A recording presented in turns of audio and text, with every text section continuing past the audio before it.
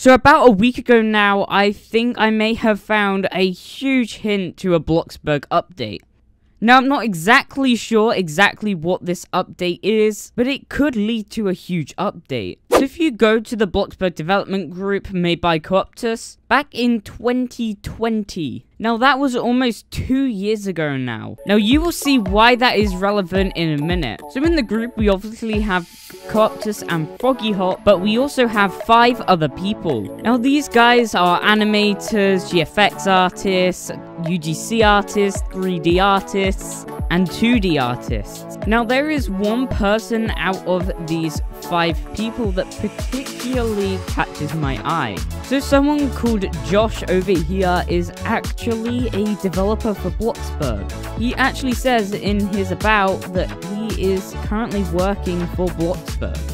Now, this guy has contributed to a ton of different games like Pet Simulator X and Work at Pizza Place, which those two games at one point were two of the biggest games on Roblox. Now, the fact that he says currently working for Bloxburg. You see, Coeptus is in university, so he obviously doesn't have much time to work on the game, at least we still think he's in university. He said back in 2018 that he was using the money to pay for university. So it should be either this year or later this year he should probably be out of university. But Froggy Hops on the other hand, he actually has another job. He does Bloxburg as a hobby. And the fact that he just does it as a hobby and is the main 3D designer for the game, this tells me and suggests that he doesn't really put much effort in. Now because he does this as a hobby, obviously, he's not going to put all his time and effort into making items.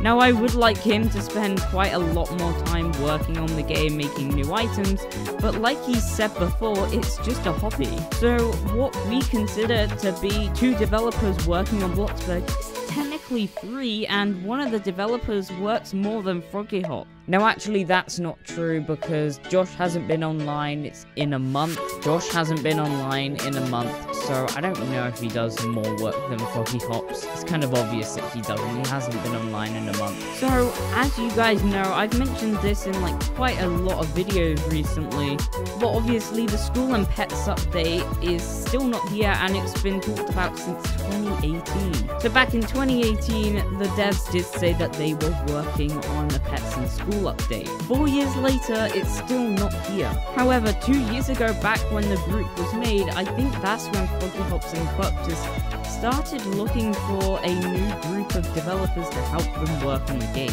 Now, I think this was more of an initiative done by Coeptus rather than Froggy Hops, since obviously Coeptus is the lead developer for the game, I think he wanted to start looking for new people that can bring new ideas and new game design and bring new designs to the game. Now it was actually only in 2021 that we actually got our first sight of new developers being added. Now these guys are all artists, whether it's 3D, 2D or animation, which all of them have had some sort of work in 3D modeling.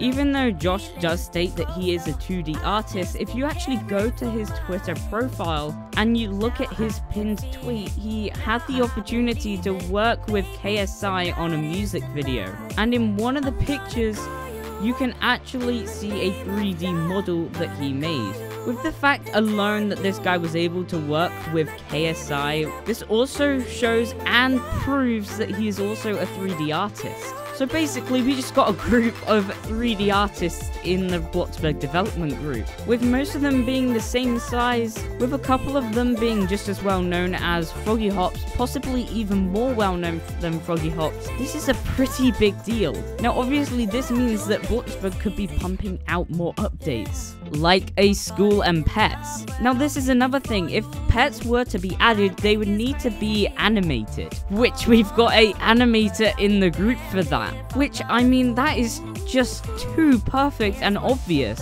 I don't know how no one has really thought of this idea before. A lot of people have said that this person could be doing a trailer, but I think it could be much bigger than that. If they're in the official development group, I don't think they're only here to make a stupid trailer.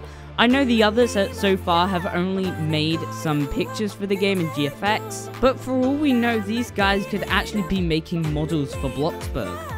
And I think if Coeptus is gonna get these guys in the official group for Bloxburg development, I think he has something more planned for them than just some thumbnails and a trailer.